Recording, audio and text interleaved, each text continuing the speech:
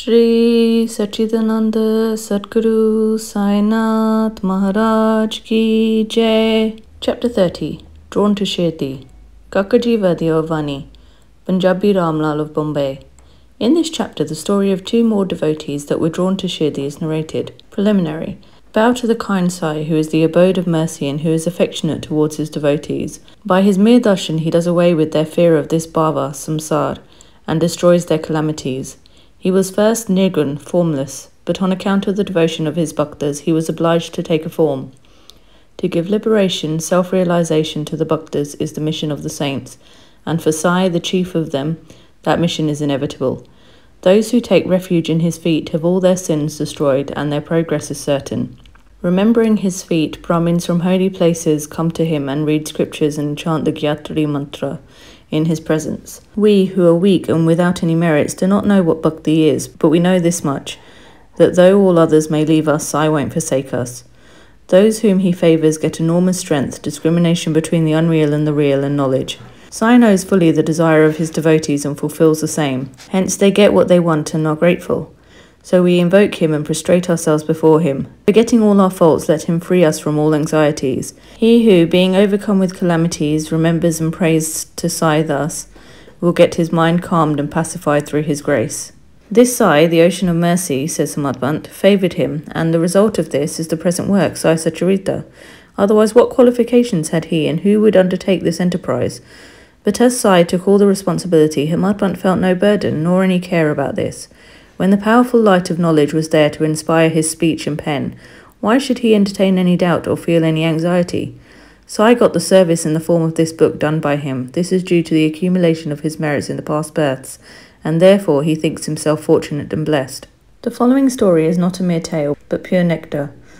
He who drinks it will realize Sai's greatness and all pervasiveness. Those who want to argue and criticize should not go in for these stories. What is wanted here is not discussion, but unlimited love and devotion.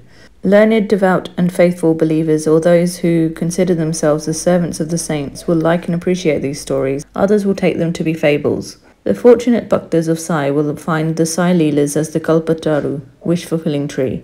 Drinking this nectar of Sai Leelas will give liberation to the ignorant jivas, satisfaction to the householders, and a sadhana to the aspirants. Now to the story of this chapter. Kakaji Vedya. There lived in Vani, Nasik district, a man named Kakaji Vedya. He was the priest of the goddess Saptashringi there. He was so much overwhelmed with adverse circumstances and calamities that he lost peace of mind and became quite restless.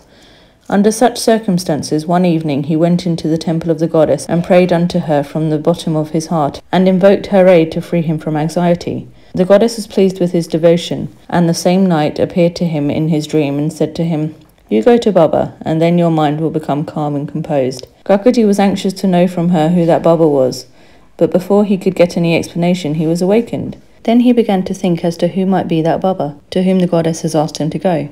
After some thinking, he resolved that this Baba might be Triambakeshwar, Lord Shiva. So he went to the holy place, Triambak, Nasik district, and stayed there for ten days. During this period, he bathed early in the morning, chanted the Rudra hymns, did the Abhishekam, pouring unceasingly fresh cold water over the pindi, and did other religious rites, but with all that he was as restless as he was before. Then he returned to his place and again invoked the goddess most pitifully. That night she again appeared in his dream and said, Why did you go to Triambakeshwar in vain? I mean by Baba Sri Sai Samartha of Shirdi. The question before Kakaji now was how and when to go to Shirdi and how to see Baba. If anybody is in real earnest to see a saint, not only the saint, but God also fulfills his wish. In fact, the Sant saint and the Anant God are one and the same. There is not the least difference between them. If anybody thinks that he will go himself and see a saint, that will be a mere boast. Unless the saint wills it, who is able to go and see him? Even the leaf of the tree won't move without his bidding. The more anxious a bhakta is for the saint's visit, the more devout and faithful he is. The more speedily and effectively is his wish satisfied to his heart's content. He who invites anybody for a visit also arranges everything for his reception, and so it happened with Kakaji. Shama's vows. When Kakaji was thinking about his visit to Shirdi, a guest came to him at his place to take him to Shirdi.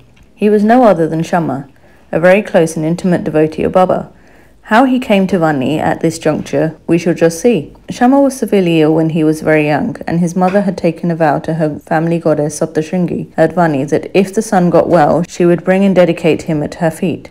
Then, after some years, the mother herself suffered much from ringworms on her breasts. At that time, she again took another vow to her deity that if she got all right, she would offer her two silver breasts. These two vows remained unfulfilled. At her deathbed, she called her son Shama to her and drew his attention to the vows, and after taking a promise from her that he would fulfill them, she breathed her last. After some time, Shama quite forgot about these vows, and thus thirty years elapsed. About this time, a famous astrologer had come to Shirdi and stayed there for a month. His predictions in the case of Sriman Bhuti and others came true, and everybody was satisfied. Shama's younger brother, Babaji, consulted him and was told that his mother's vows, which his elder brother promised to fulfill at her deathbed, were not yet fulfilled.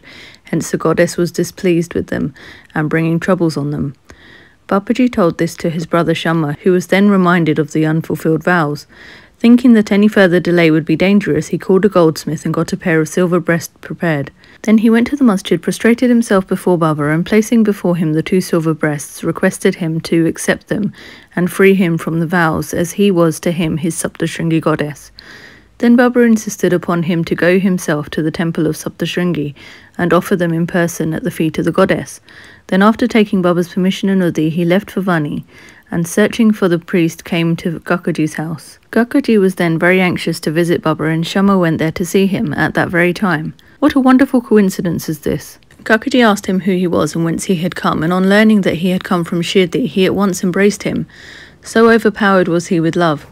Then they talked about Sai Leelas, and after finishing the rites of Shama's vows, they both started for Shirdi.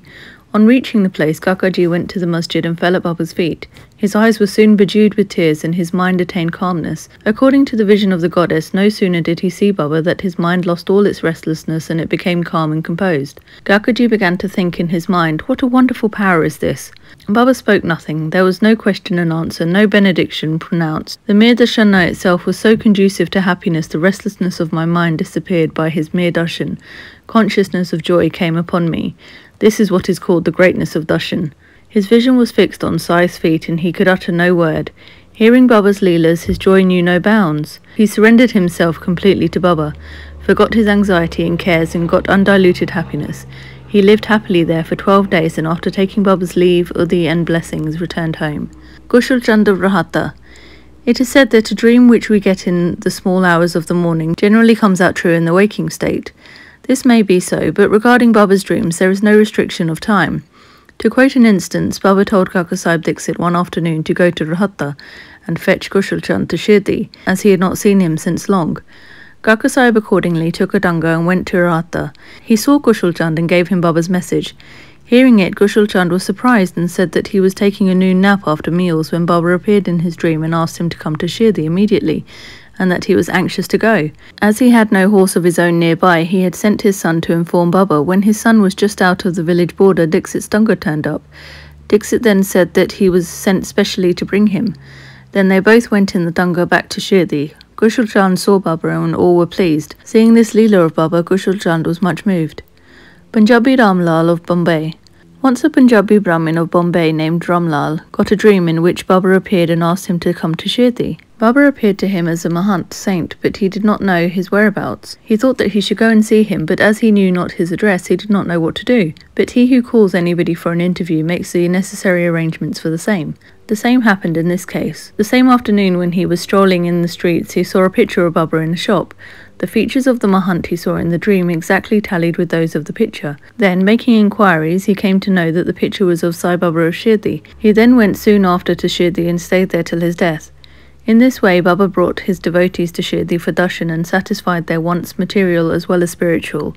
Bow to Sri Sai, peace be to all. Shri Sachidananda Sadguru Sainath Maharaj Ki Jai